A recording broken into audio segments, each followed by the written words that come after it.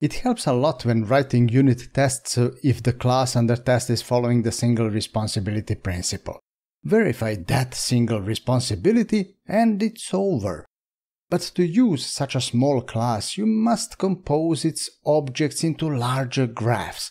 How do you verify that that is correct? In this unit testing tutorial, I will show you the structural inspection technique which helps address that very problem. This is the method which we will be unit testing today. It is deceptively simple, but it does many things.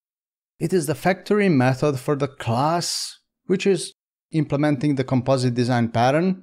This class is implementing a discount, but the composite discount. It contains multiple other discounts and applies all of them to the price, joining their results together.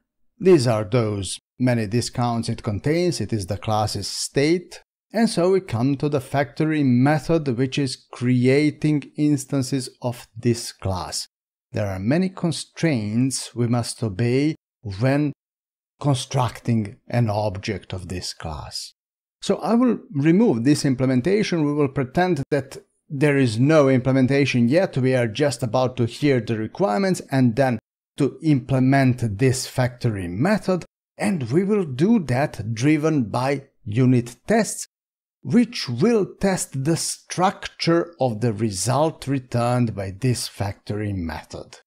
That factory method is receiving a sequence of discount objects and it must create a discount instance which is wrapping all of them. Structural inspection is a specific technique in unit testing. We are writing tests that are verifying that the objects are composed correctly.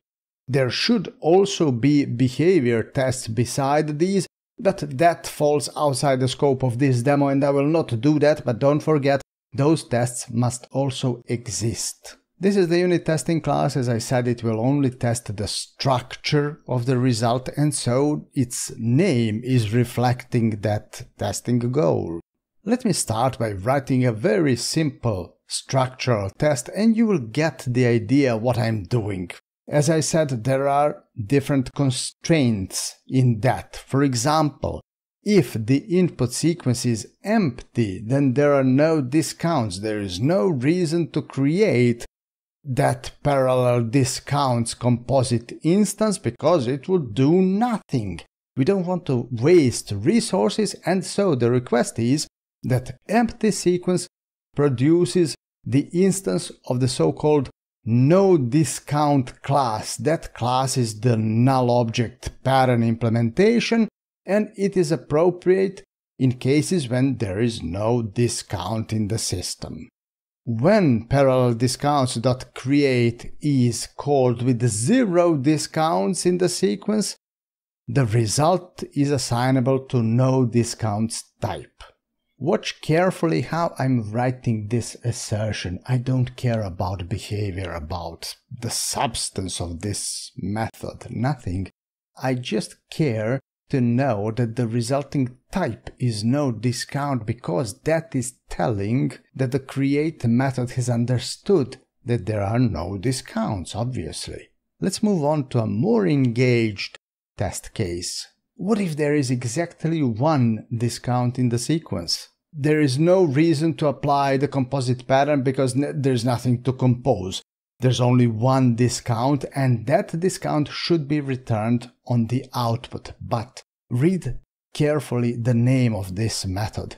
Returns the same discount type. I'm not insisting on returning the same instance. I'm just checking whether the type is that what was on the input.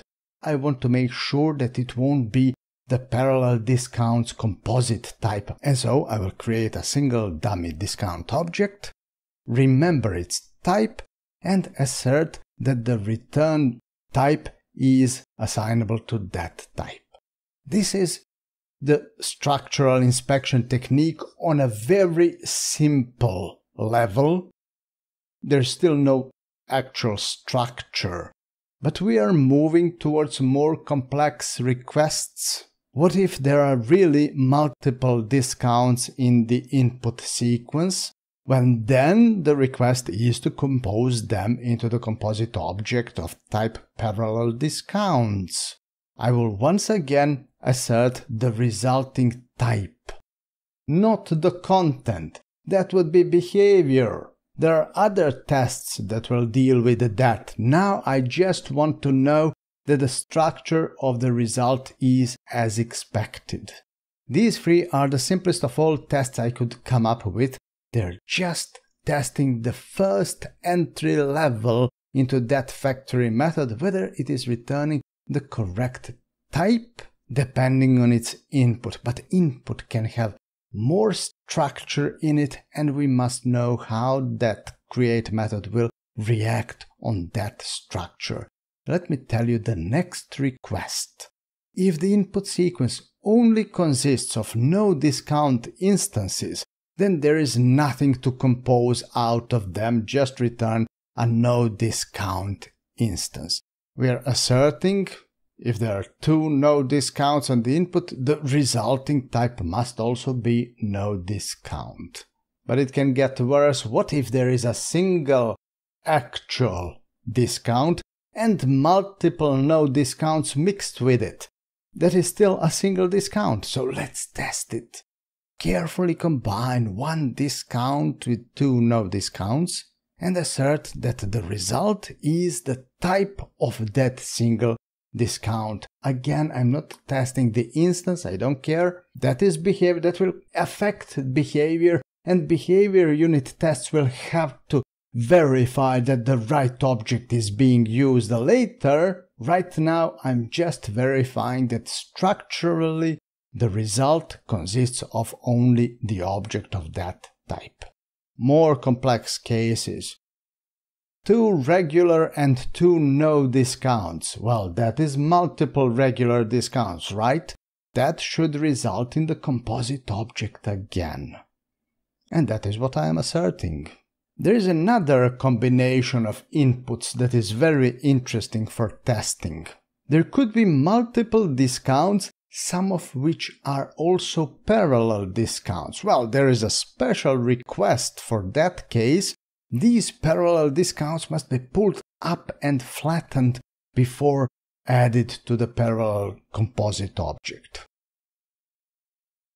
The request is that the parallel discount must not contain other parallel discounts recursively. We must flatten them, as I said. So again, I'm carefully crafting the sequence of discounts, putting one parallel inside of it, and then I'm asserting that no parallel discount exists inside the resulting object. So this time I'm going one step deeper, I'm getting into the resulting object, assuming that it is already of the type parallel discount, so I'm casting here. This could throw an exception if the assumption is wrong, but that would also cause the other test to fail. So this test is not asserting that the type of the object, the returned object is parallel discounts. It is getting inside of that object and looking into its own structure one step lower, seeing that the sequence of objects inside that object satisfies the assertion that none of them has the type parallel discounts. Well, this is a proper structural inspection. We are really inspecting a true object structure and checking whether it satisfies the assertion. The very last structural test I will show you, and we will then implement the method, is to verify that there will be no no discount instances inside the parallel discount. If there are multiple discounts and some of them are no discount mixed with proper discounts, and this structure is added to the parallel discounts object, then inside of that object none of the surviving objects may have the no discount type. These are all the structural tests I thought should be included in the test suite for that factory method. That factory method is solving several use cases and we want optimal behavior of the resulting object from that factory method. That is why so many tests there are and so many test cases. Before we continue, let me ask you a favor. Please press the like button now. If you have stayed so far, then you must be liking the video already. So please press the like button, thank you. And also, if you want to download the source code from this demo, let me tell you that the source code is available to sponsors of this channel. So become the sponsor, visit me at Patreon, there is the link in the description. Become the sponsor and get access to the source code of this demo and all other demos on this channel. Thank you. Before we implement the method, let me run the unit tests against the missing implementation, which is throwing the not implemented exception. Of course, all eight tests are failing, and this is the baseline from which we are starting with implementation of the method. Here is that method. What shall we do as the first step? I have an idea. The easiest step is just to wrap whatever there is on the input into the parallel discounts composite object. That was the idea behind this factory method, right? So let's just solve the baseline. I will get back to the tests, run them, and look here. Two tests are passing this time and six are still red. We made some tests to pass with this very simple implementation. Let's add more details. That uh, parallel discounts creation is only one possibility when there are many objects on the input. Another option is that the input is empty. In that case, the tests requested to return no discount instance, so let's do it. Yet another option was when there is a single object on the input, then we return that single object on the output.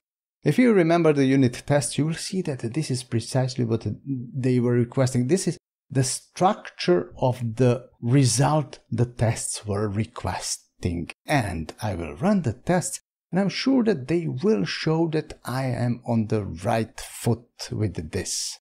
Four tests passing, another four to go. Another feature I'm missing removing those no discounts from the input.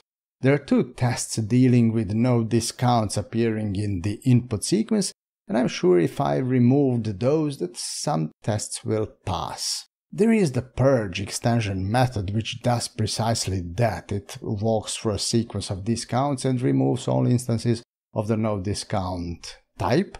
If I didn't have this purge method, I would write it right now. But since I do have it, I will just use it here.